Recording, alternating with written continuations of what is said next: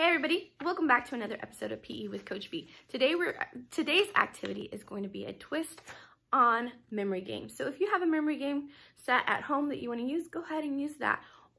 Or if you don't have a memory game, you can use playing cards. Um, just make sure that you only have two of each number, or if you want to make it a really long game, you could have um, the whole deck. It's up to you. You run with it, have fun with it. Um, I'm really, really gearing this activity towards my younger group, my kinder first and second. Um, I reached out to our campus's kindergarten teacher and she gave me a list of the kindergarten words that they are expected to know when they're in kindergarten. So you can go ahead and make your own sight word flashcards on little pieces of paper. Just make sure you have two of each sight word. Um, or you can um, follow the link down below. It is a free link to free printables um, that I found on Pinterest and you can print out those. And I have some of those words right here uh, or some of these flashcards right here and I just cut them all out. So that's what you're gonna need to be successful in this activity. So, but before we do that, let's do our warm up. Ready, set, go.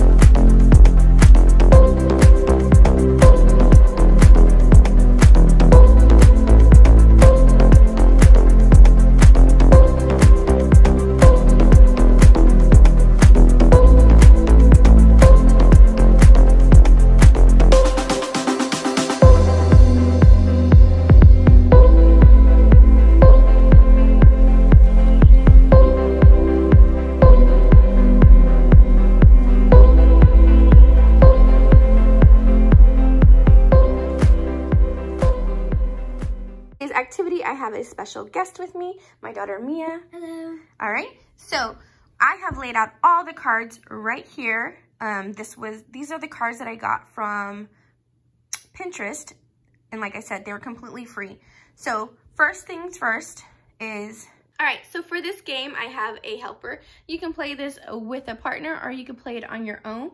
You, If you're playing with the partner, make sure you're taking turns. If you flip a card over and it's not right, then you need to give your partner a turn. Is that right? you have to do 10 jumping jacks. Oh, that's right. We got to put some exercise in this. Yes. So if you do not get it right, you need to do 10 jumping jacks. How many jumping jacks? 10. Now feel free to change up that exercise however you would like. Um, if you want to do mountain climbers, you can do mountain climbers. If you want to do push-ups, you could do push-ups. Change up the exercises however that you want and let me know how it goes.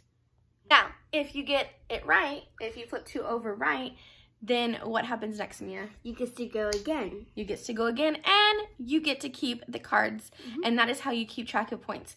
Now, even though there are two cards, how many points is that worth? One. One. All right, at the end of the game, you can see how many points that you have. So here's what it looks like. Go ahead, Mia, and, and pick your card. Pick card. Oh. Oh, I love how she's saying the word too, guys. If you're using sight words, make sure that you say the word, okay? Okay. So she's going to flip it over again. Not. Not. Now, are those the same words? No. So do you get that point? No. So what do you have to do? Let's get to it, girlfriend.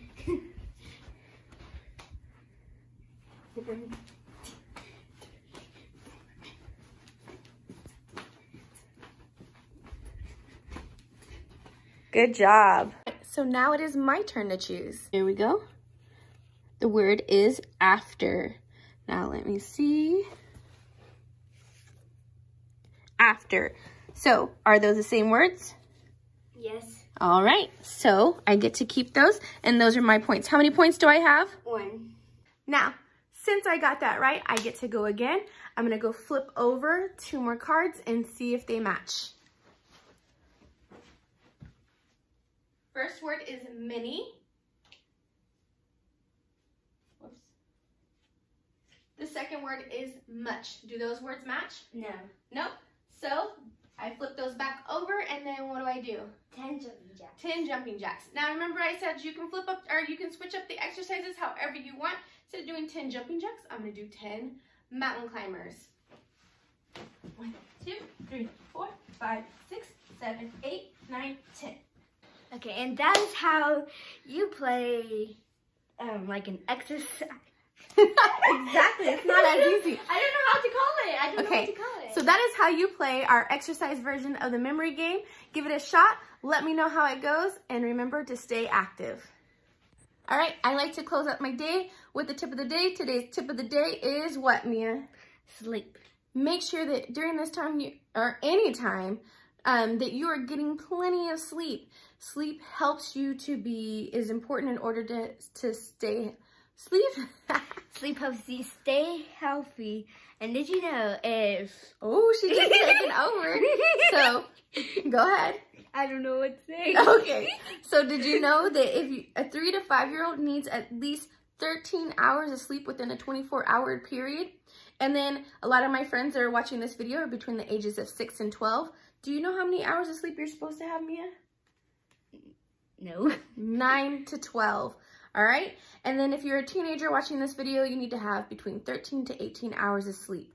All right, so make sure that you're mm-hmm. getting plenty of sleep. I know it's really crazy. These schedules are really weird now because we're not in school, but we're still in school.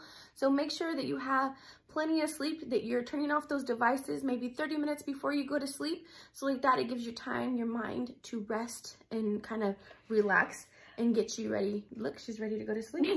All right, so make sure you get sleep, guys. Bye. Bye.